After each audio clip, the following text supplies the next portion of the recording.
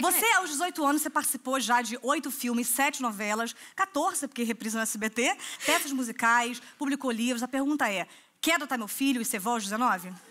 18, né? Tô pensando nessa hipótese. Eu acho que vou me aposentar daqui a alguns dias. Mas, é uma já. loucura. Porque um, brasileiro hoje em dia não se aposenta mais. É só a gente vai 80. trabalhando até o fim da vida. Mas e é você- isso que eu quero. Você pensa em ser mãe, por exemplo? Não agora, pelo amor de Jesus, que eu sou até presa de perguntar, mas pensa. Penso muito. Eu tenho meu maior exemplo em casa, que são os meus pais que são casados há 25 anos e que só tem eu de filha, ou seja, eu quero ter mais filhos. Mas e eu não ter uma quiseram, ou porque depois de 25 a gente não transa mais, porque eu já não transo há muito tempo.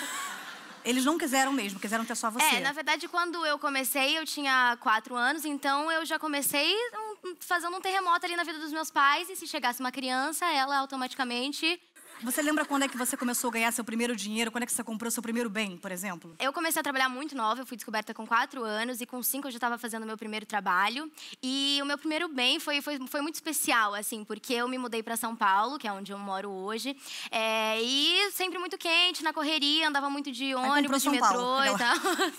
E aí, eu- é, o meu único pedido era que a gente tivesse um carro com ar-condicionado. E eu comprei esse carro onde tinha ar-condicionado, graças a Deus. Você comprou é, um carro com quatro anos? Foi com 10, Tatá. A vida é tão cruel. Cara, com quatro anos eu comia cocô.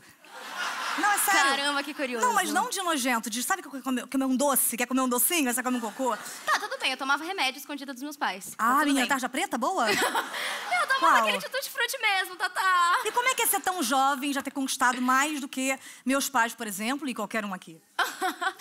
É muito gratificante. É... Gratificante é muito bom, ser muito Muito milionária, né?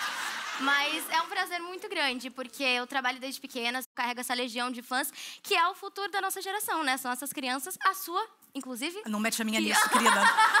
A minha você não vem, porque. Não, tô zoando. A minha vai ser sim. Eu já tô capitalizando em cima dela, que eu É não a sou nova boba. geração, é nova Quer geração. capitalizar? Eu ponho o nome do seu produto, meu filho, não me importo.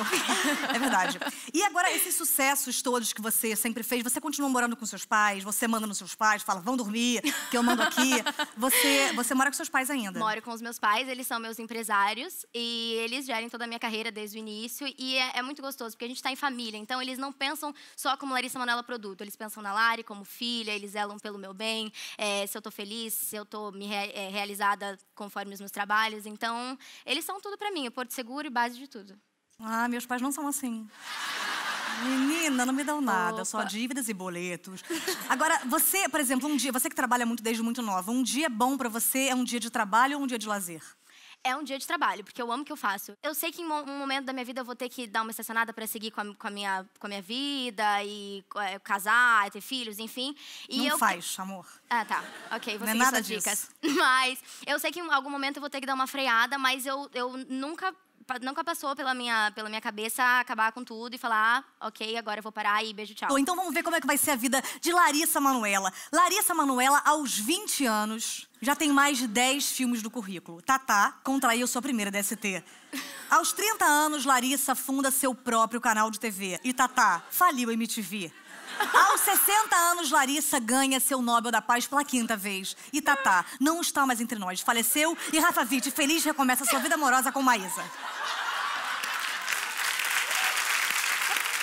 Mesmo com esses feitos todos, o que, que você ainda quer conquistar que você não conquistou? Ah, eu sei que, tipo, casar é muito caro, né? Fazer um casamento. Eu, É eu tenho ruim, um sonho. mega caro. não, sério, eu não acho maneiro. Ah, caramba, que, que coisa, não? É, Mas eu, então. eu acho que tem, tem coisas assim que a gente se limita, porque realmente é muito surreal. E aí eu só fico deslumbrando mesmo na internet, pesquisando pessoas que têm, e eu fico ali, só esperando um dia. Eu poder chegar para os meus pais e falar: o que, que vocês acham, hein? O que vocês acham da gente compartilhar dessa casa bem grande? Sei lá. Quando a gente vai para fora, a gente sempre vê umas coisas muito surreais. Eu então, viajo tão pouco. Menina, eu viajo tão pouco. Quantos lugares do mundo você conhece, sabe? Ah, eu conheço Europa e Estados Unidos, não conheço Disney muitos mil vezes. Claro, todos os dias. é, Inclusive, saindo daqui, eu tô indo pra lá. É, você fica mais no Brasil ou você fica mais lá? Não, eu fico aqui, eu fico mais no Brasil e eu tenho lá como um refúgio, porque eu tenho hoje casas lá. E... Casas? Casais! Mas Sim. eu vi plurais? É, tem plurais. Tá pra quanta casas? A gente tá indo pra terceira, olha que coisa Ah, boa. tá, tá ótimo. Inclusive, quando você for à Disney novamente, é, você pode ficar na minha casa à vontade, levar toda a galera aqui. Entendeu? E Inclusive- levar todos os móveis da sua casa e recomeçar a minha vida vendendo. É, quem é que te deixa como as suas fãs ficam quando te veem? Ficam nervosas? Choram. Se- choram. Aí eu falo, se vomitam de- inteira. Mas quem você, você vê e fala, caramba, te deixa assim muito nervosa? Eu fico muito nervosa com o Silvio Santos, por incrível que pareça. Mas não se acostumou, não? É, é muito louco, porque eu só encontro com ele no palco, gravando. E aí, às vezes, eu tô lá pra gravar o, o programa, esperando no camarim, e ele entra e fala, ô, ma, oi! E aí eu fico, eita, tudo bom, Silvio Santos? E é muito louco, porque ele é o ícone da TV brasileira. É. E, e, de verdade, ele, ele, ele- ele causa isso, acho que, nas pessoas. Mas não é aquela pessoa que se acostuma depois, tá bom, Silvio, cuecão no Silvio, pula pirata no Silvio. Não, você continua ficando nervosa. Eu continuo ficando porque acho que é uma emoção. Eu assistia muito o programa do Silvio em casa com os meus avós. E é maravilhoso, porque todos os avós assistem, todos do mundo Uhum. estão sentados ali. Exatamente. Então eu quero fazer um quadro agora nessa mesma velocidade da qual você foi amadurecendo. Responde rápido que eu vou parir. Furou o olho de uma amiga? Não, Sentiu falta do ex? já. Já deixou de ir numa festa porque estava com espinha? Não, não tenho espinha. Ai! Caraca! Ai, Deus, por quê? Já ligou pro ex bêbada depois de 18 anos, é óbvio? Não. Não, de verdade. Tá bom. Tá, legal. Já arrancou a calcinha pela cabeça gritando no chão porque não tinha roupa pra sair? Já. Já mandou um- no Insta pra alguém, olá, tenho interesse? Dando Já. mole? Quem foi? Opa, Tatá. Um Tá. crushzinho aí. Tá legal. Já stalkeou o boy nas redes sociais? Já muito, faço isso até hoje. Era o meu? Não, não era o seu, graças Obrigada. a Deus. Qual a capital da Angola? Que isso, gente? Tá bom. Já fez ego search? Que que é isso? É a capital da Angola. Já brigou pela amiga, com a sua amiga pelo boy? Ah... é. já. Tá. Você já ficou com dois na mesma noite? Depois dos 18, é óbvio. Já. Caraca, eu não vivi nada. Merda, engravidei tão rápido. Já pegou dinheiro na bolsa da sua mãe depois dos 18? Já. Já colocou dinheiro na bolsa da sua mãe? Ah, não. Pode pôr na bolsa da minha? Já se cagou em público? Ai, meu Deus. que Situação. Sério? Olha, eu não... Ai, não, eu não lembro se foi Mas público, cagada, mas- tipo, caraca, tô na terra, ou Tá, tá, olha. só um... Só um... Agora estou, inclusive, Ai, que aqui com você. Ai, que horror. Não, Ah. mas eu já fiz xixi no palco, num show, desesperadíssima. Aí eu comecei a usar fralda depois. Nos shows. É sério, gente, que a gente bebe muita água. Sim, é normalíssimo. Eita, eu, Larissa eu bebo muita água, a gente canta, bebe uma aguinha. E aí vai cantando o diafragma aqui, vai apertando aí. Não, é super Foi, normal. ficou um desespero. Tá ótimo. Eu já vi você, a gente já foi pra Angra, não, a gente foi pra Disney uma vez, e eu vi, você pode sair de uma montanha-russa, você pode estar cansada, você pode estar tremendo, você pode estar com qualquer tipo de coisa que você é sempre muito simpática com seus fãs. Então vamos ver como é que você reage dessa maneira simpática, mesmo em situações muito bizarras, no Post Brothers. Uma bigorna gigantesca na tua perna. Porém, mesmo com você com muita dor, o dono da, da- da fábrica de bigornas quer que você mande aquele recadinho pros funcionários. Como é que você O que faz? é uma bigorna? Uma bigorna? É um negócio do meu tempo. Hoje em dia é como se fosse um... É um hater de metal. Tá, esquece Justifique bigorna. Nada, nada a ver, nada a ver, tá? Você acabou de depilar e repara que a sua própria depiladora juntou os seus pelos e fez um lindo fantoche. E fala, ai, manda um recadinho com esse fantoche de pelos. Como é que você faz? Oi, minha linda! Tudo bom? A sua mãe acabou de fazer. De. né? Um beijo! Agora você está com uma mega prisão de ventre, numa situação... tá, entendi. Eu ia perguntar o que é prisão do ventre, mas sacanagem, Não. isso eu sei. É um Tô negócio que nós humanos temos. É como se fosse... não, isso, isso eu sei, pelo amor de Deus. Só a bigorna aqui, realmente, depois você me explica ali atrás. Como é que você grava esse vídeo? Dessa Eu maneira fofa. aqui dentro, É. né? Uma dor do caramba. Mas aí eu ia falar... Oi, e aí já ia sair.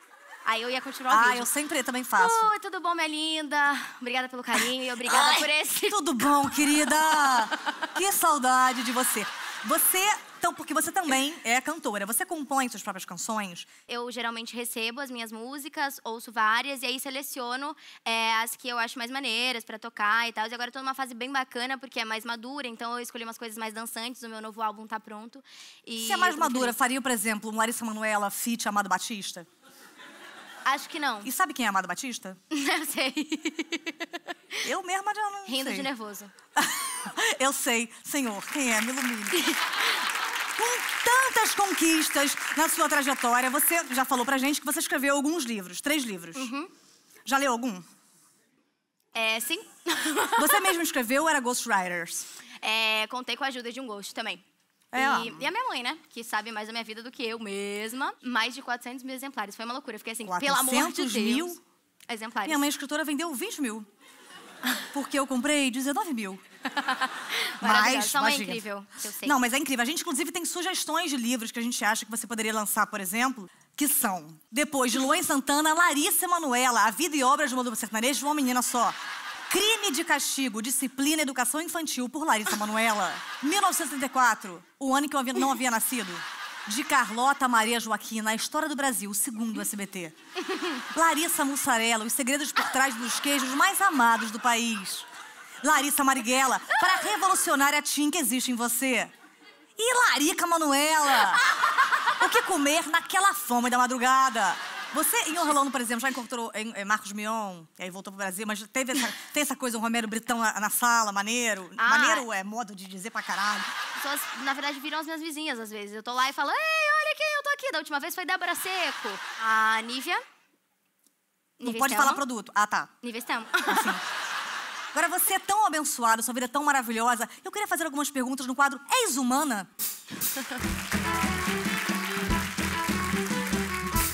Você já saiu do grupo da família e fingiu que foi sem querer? Aí saiu de novo, até entenderem que era de verdade? Não, é porque minha família, assim, super, super im- imensa, né? Só eu, meu pai e minha mãe mesmo, mas eu contato com os meus tios e primos, a gente conversa pelo Mas privadão meus mesmo. pais é eu, meu pai, minha mãe, meu irmão e eu saí.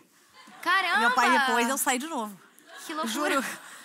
Cara, meu pai Não, manda, minha mãe, pai, pai manda uns negócios assim: se uma senhora com uma arma e um lança-chamas parar seu carro é golpe. Porra, pai, uns negócios absurdos. Quantos dias você ficou né, sem, dá. sem lavar o cabelo, por exemplo? Quatro, cinco dias, assim. Ai, Larissa, cara. Você lava a sua calcinha no box? Muito. E deixo penduradona lá, amor. Deixa mesmo. Aí. Mas, mas você faz sua própria cama, por exemplo? É, não. Tenho preguiça. Tem razão. Não, eu se estiver suja, eu durmo um mês suja e, e não tô É, nem a aí. minha mãe, a minha mãe que arruma. É, O meu lema é assim, pra que vai arrumar se à noite vai desmanchar de novo? Menina, eu tô assim há 20 anos, mora rato, mora gambá. Eu tô feliz. Maravilhoso. Cachorro, que é uma loucura. Ah, menina, ali eu já vou. Ali eu já faço o meu. Você já usou um- uma única folha de papel higiênico que foi dobrando 25 vezes pra, pra- pra economizá-la? Claro. Uma meia nunca usou, não, né? não. Não, nem eu. Não, nada a ver. Você já tirou alguma bolinha de meleca e tava fazendo aquele esqueminha pra ela sair e te pegar? Você fingiu que tava dançando um break assim na rua, fazendo uma coisa? Amor, olha o tamanho da minha unha. É a gruda, economiza, maravilhoso. Aqui já tem só pó, vai ficar fábrica de meleca. já é estratégico. Sai aqui de baixo... Ai, que coisa Ai, menina, abre uma fábrica. Melecas Larissa Manoela. Incríveis. Próximo. Põe água no, no final do shampoo pra render? Claro. Muito. Ai, que incrível. Eu achei que fosse só nós. Não, eu só faço nós, isso também, humanos. gente. Já andou de ônibus? Já muito. Muito, não, né? ônibus. Sim. E alguma vez você já foi passar seu cartão e deu não autorizado? Uma mensagem que pra gente acontece direto. Você já. Amor, sempre. Ó, o que as pessoas não sabem é assim, gente. Todo o meu dinheiro quem cuida é o meu pai e minha mãe. E eu tenho uma mesada. Uma mesada. Num cartão. Que a de- gente de chama de salário mínimo de uma vida. Não, eu tenho uma mesada. E aí, quando eu quero gastar um pouquinho mais, eu guardo, tipo, uns três meses, porque daí acumula a minha mesada e aí eu gasto tudo de uma vez. No quadro Debatendo-se. 15 segundos, relação com amigos, valendo. Hoje em dia, eu acho que os amigos, eles estão esquecendo de falar pessoalmente e indo mais pela internet e trocando ideias pelas redes sociais, o que eu acho muito bacana, porque a, a partir do momento que você cria amigos, não só pe- como pessoa, tem também virtuais. Obrigado, Larissa. É, não existe criar amigos como privadas, são sempre como pessoas. E realmente, na minha época, os amigos eles se falavam menos, porque era caro pra caralho ter um telefone celular. Obrigado, Assim, Tatá. Cinco segundos agora. Eu não tenho amigos, pelo amor de Deus, eu não falo com eles e eu não vejo eles, nunca. Cinco segundos, Tatá. Quero ser sua amiga, pelo amor de Deus, paga pra mim, quero partir semana que vem fazer meu enxoval do meu filho. Um segundo. Obrigado. Por favor. Tatá, um segundo. Me leva a caralho. Próximo assunto. Relacionamentos amorosos. Começa com Tatá. Tinha Valendo. toda uma magia na minha época, porque você não era tão rápido assim. Você esperava a pessoa te ligar, aí dava ocupado, aí tinha aquela magia, por exemplo. Você não dava nunca. Ok, Mas- obrigado, Tatá. me 15 expus de nada, segundos, merda, Larissa. merda. Hoje em dia, a gente quase não se vê, a gente fala por FaceTime mesmo. Que é legal, porque se você tá no outro lado do país, você Ok, acaba- obrigado. Isso aí. Na minha época não tinha outro lado do país, porque não tinham aviões, a gente ia de charrete e só ia até Maricá. o lugar- Obrigado. Cinco segundos. Eu realmente não tô vendo meu namorado e só pro FaceTime mesmo, não tem jeito. Um segundo. Melhor do Foi? que ver o meu puta que... Um segundo. Agora Próximo eu, assunto. Trabalhos escolares. Começa com Larissa Manoela, 15 segundos. Agora a gente faz tudo pelo. pelo. Por essa coisa smartphone, por essa coisa aqui, tablet, e a gente não mal vê livro. Obrigado. Tata Werneck, Na 15 época, se segundos. você queria saber sobre a girafa, você aprendia sobre a anta, sobre a lebre, porque você tinha que pegar aquela cara daquela barça e ficar vendo todos aqueles animais até conseguir ter alguma informação sobre o bicho preferido. Vinha um senhor de manhã que eu era. Obrigado, Tata. Tá. Cinco segundos. A gente pesquisa no Google um animal e já vem toda a lista do que ele realmente faz, com quem ele se acasava, Obrigado. com tudo que ele faz. Cinco segundos. Ah, vá tomar no meio do cu, Marcão. Obrigado. Um segundo. Eu aceito. Um segundo. o meu? Ok, obrigado. Redes sociais. Tata Werneck, 15 segundos. Na minha época não tinha redes sociais, então não existia traição. Ninguém era corno porque ninguém descobria que era corno. E hoje todo mundo é corno porque simplesmente sabe. A verdade é que todos foram traídos, mas eram mais felizes porque as pessoas têm redes sociais. Obrigado, Tata Tá? Werneck. Tá 15 ótimo. segundos, Larissa Manoela. Hoje a gente vê tudo através das redes sociais, a gente consegue fazer amigos, como eu disse, criar relacionamentos, conhecer a pessoa do outro lado do mundo que você nunca viu pessoalmente, então eu acho que isso aproxima as pessoas. Perfeito. Cinco segundos. Essa merda de redes sociais, eu peguei nudes de Rafa Witt com aquele pênis gigantesco. mandei- Obrigado. Ah, Cinco segundos. Eu nunca vi o órgão genital do Rafa Witt, graças a Deus. Um segundo. Bem, Ai, de ti, minha Obrigado. filha. Um Tá. segundo. amém, Senhor. Obrigado. Esse foi o Debatendo Você.